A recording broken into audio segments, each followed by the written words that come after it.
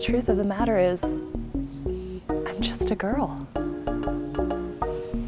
Standing six feet apart from a boy, asking him to love me. Uh, don't get any closer.